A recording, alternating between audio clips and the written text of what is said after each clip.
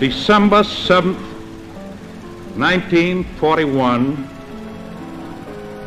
a date which will live in infamy.